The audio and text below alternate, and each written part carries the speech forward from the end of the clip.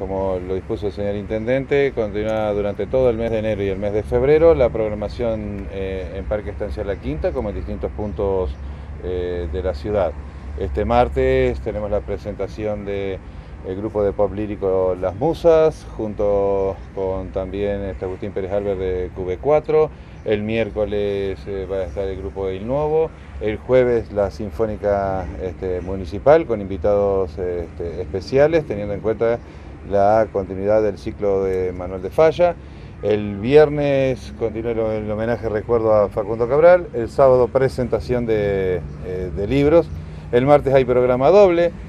Eh, una vez culminada la, actuación de Musas y de QB4 en el Parque Estancia La Quinta, se asciende hasta la Virgen Blanca y allí a las 21.15, 21.20 ya estaría comenzando el concierto en el espacio de Virgen Blanca de la Sinfónica Municipal.